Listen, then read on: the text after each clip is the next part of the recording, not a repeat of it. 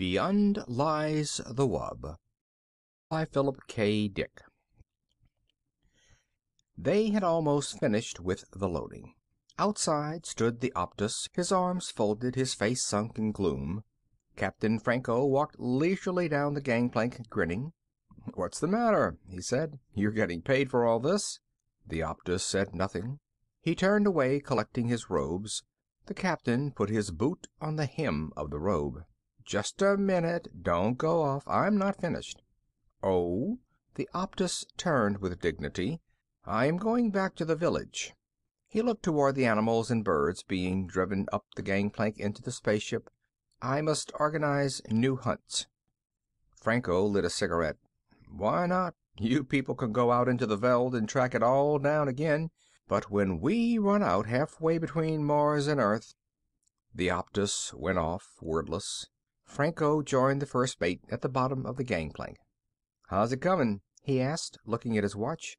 "We got a good bargain here." The mate glanced at him sourly. "How do you explain that?" "What's the matter with you? We need it more than they do." "I'll see you later, Captain." The mate threaded his way up the plank, between the long legged Martian go birds, into the ship. Franco watched him disappear.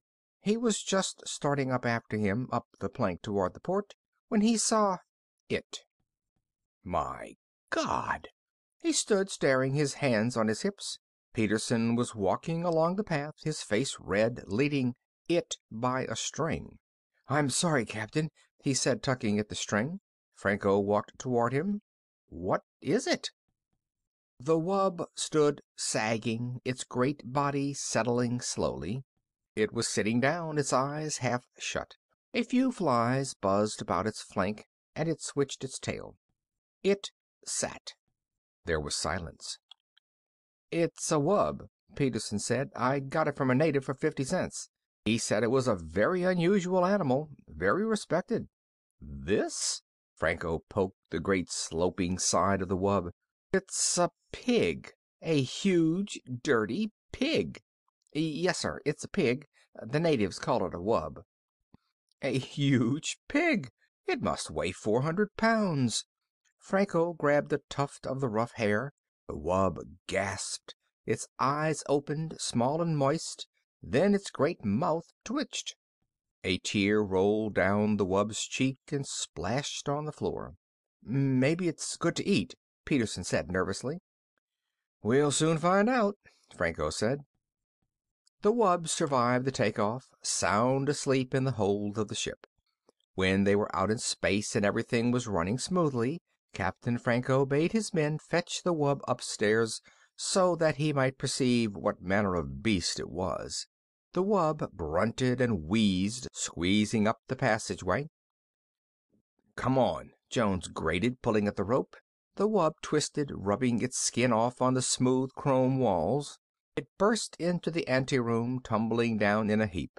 The men leaped up. "Good Lord!" French said. "What is it?" "Peterson says it's a wub," Jones said. "It belongs to him." He kicked the wub. The wub stood up unsteadily, panting. "What's the matter with it?" French came over. "Is it going to be sick?" They watched. The wub rolled its eyes mournfully. It gazed around at the men. "I think it's thirsty," Peterson said. He went to get some water. French shook his head. "No wonder we had so much trouble taking off. I had to reset all my ballast calculations." Peterson came back with the water. The wub began to lap gratefully, splashing the men. Captain Franco appeared at the door. "Let's have a look at it." He advanced, squinting critically. "You got this for fifty cents?" "Yes, sir," Peterson said. "It eats almost anything. I fed it on grain and it liked that, and then potatoes and mash, and scraps from the table, and milk. It seems to enjoy eating. After it eats it lies down and goes to sleep." "I see," Captain Franco said. "Now as to its taste. That's the real question. I doubt if there's much point in fattening it up any more. It seems fat enough to me already. Where's the cook? I want him here. I want to find out The wub stopped lapping and looked up at the Captain. "Really, Captain," the wub said, "I suggest we talk of other matters." The room was silent. "What was that?" Franco said. "Just now." "The wub, sir," Peterson said. "It spoke." They all looked at the wub. "What did it say? What did it say?" "It suggested we talk about other things." Franco walked toward the wub. He went all around it, examining it from every side. Then he came back over and stood with the men. "I wonder if there's a native inside it," he said thoughtfully. "Maybe we should open it up and have a look." "Oh, goodness!" the wub cried. "Is that all you people can think of killing and cutting?" Franco clenched his fists. "Come out of there! Whoever you are, come out!" Nothing stirred. The men stood together, their faces blank, staring at the wub. The wub swished its tail. It belched suddenly. "I beg your pardon," the wub said. "I don't think there's anyone in there," Jones said in a low voice. They all looked at each other. The cook came in. "You wanted me, Captain?" he said. "What's this thing?" "This is a wub," Franco said. "It's to be eaten. Will you measure it and figure out " "I think we should have a talk," the wub said. "I'd like to discuss this with you, Captain, if I might. I can see that you and I do not agree on some basic issues." The Captain took a long time to answer. The wub waited good naturedly, licking the water from its jowls. "Come into my office," the Captain said at last. He turned and walked out of the room. The wub rose and padded after him. The men watched it go. They heard it climbing the stairs. "I wonder what the outcome will be," the cook said. "Well, I'll be in the kitchen. Let me know as soon as you hear." "Sure," Jones said. "Sure." The wub eased itself down in the corner with a sigh. "You must forgive me," it said. "I'm afraid I'm addicted to various forms of relaxation. When one is as large as I " The Captain nodded impatiently. He sat down at his desk and folded his hands. "All right," he said. "Let's get started. You're a wub, is that correct?" The wub shrugged. "I suppose so. Uh, that's what they call us. The natives, I mean. We have our own term." "And you speak English? You've been in contact with Earthmen before?" "No." "Then how do you do it? Speak English? Am I speaking English? I'm not conscious of speaking anything in particular. I examined your mind " "My mind!" "I studied the contents, especially the semantic warehouse, as I refer to it." "I see," the Captain said. "Telepathy. Of course." "We are a very old race," the wub said. "Very old and very ponderous. It is difficult for us to move around. You can appreciate that anything so slow and heavy would be at the mercy of more agile forms of life. There was no use in our relying on physical defenses. How could we win? Too heavy to run, too soft to fight, too good natured to hunt for game. How do you live?" "Plants. Vegetables. We can eat almost anything. We're very catholic. Tolerant. Eclectic. Catholic. We live and let live. Uh, that's how we've gotten along." The wub eyed the Captain. "And that's why I so violently objected to this business about having me boiled. I could see the image in your mind. Most of me in the frozen food locker, some of me in the kettle, a bit for your pet cat." "So you read minds," the Captain said. "How interesting. Anything else? I mean, what else can you do along those lines?" "A few odds and ends," the wub said absently, staring around the room. "A nice apartment you have here, Captain. You keep it quite neat. I respect life forms that are tidy. Some Martian birds are quite tidy. They throw things out of their nests and sweep them " "Indeed," the Captain nodded. "But to get back to the problem " "Quite so. You spoke of dining on me. The taste, I am told, is good. A little fatty, but tender. But how can any lasting contact be established between your people and mine if you resort to such barbaric attitudes? Eat me? Uh, rather, you should discuss questions with me. Uh, philosophy, the arts." The Captain stood up. "Philosophy. It might interest you to know that we will be hard put to find something to eat for the next month. An unfortunate spoilage "I know." The wub nodded. "But wouldn't it be more in accord with your principles of democracy if we all drew straws or something along that line? After all, democracy is to protect the minority from just such infringements. Now, if each of us casts one vote " The Captain walked to the door. "Nuts to you," he said. He opened the door. He opened his mouth. He stood frozen, his mouth wide, his eyes staring, his fingers still on the knob. The wub watched him. Presently it padded out of the room, edging past the Captain. It went down the hall, deep in meditation. The room was quiet. "So you see," the wub said, "we have a common myth. Your mind contains many familiar myth symbols Ishtar, Odysseus." Peterson sat silently, staring at the floor. He shifted in his chair. "Go on," he said. "Please go on." "I find your Odysseus a figure common to the mythology of most self conscious races. As I interpret it, Odysseus wanders as an individual, aware of himself as such. This is the idea of separation, of separation from family and country, the process of individuation." "But Odysseus returns to his home." Peterson looked out the port window at the stars, endless stars burning intently in the empty universe. Uh, "Finally he goes home." "As must all creatures. The moment of separation is a temporary period, a brief journey of the soul. It begins, it ends. The wanderer returns to land and race." The door opened. The wub stopped, turning its great head. Captain Franco came into the room, the men behind him. They hesitated at the door. "Are you all right?" French said.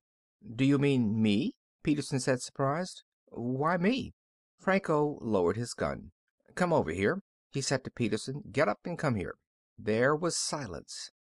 "Go ahead," the wub said. "It doesn't matter." Peterson stood up. "What for?" "It's an order." Peterson walked to the door. French caught his arm. "What's going on?" Peterson wrenched loose. "What's the matter with you?" Captain Franco moved toward the wub. The wub looked up from where it lay in the corner, pressed against the wall. "It is interesting," the wub said, "that you are obsessed with the idea of eating me. I wonder why." "Get up," Franco said. "If you wish." The wub rose, grunting. "Be patient. It is difficult for me." It stood, gasping, its tongue lolling foolishly. "Shoot it now," French said. "For God's sake!" Peterson exclaimed. Jones turned to him quickly, his eyes gray with fear. "You didn't see him. Like a statue. Standing there, his mouth open. If we hadn't come down he'd still be there." "Who? The Captain?"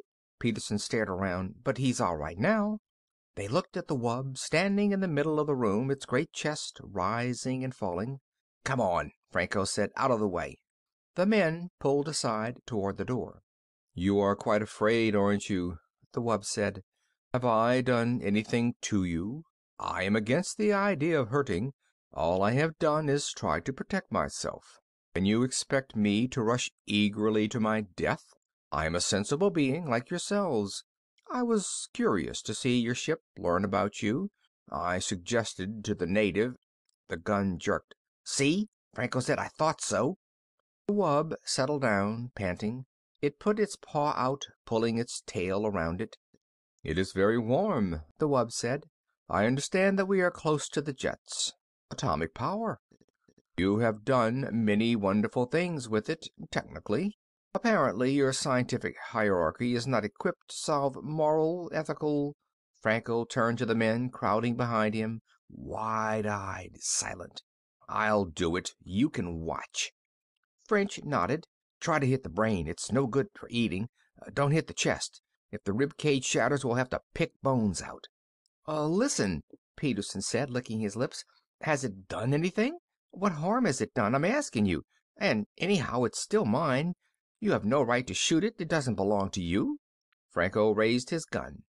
"I'm going out," Jones said, his face white and sick. "I don't want to see it." "Me too," French said. The men straggled out, murmuring. Peterson lingered at the door. "It was talking to me about myths," he said. "It wouldn't hurt anyone." He went outside. Franco walked toward the wub. The wub looked up slowly. It swallowed.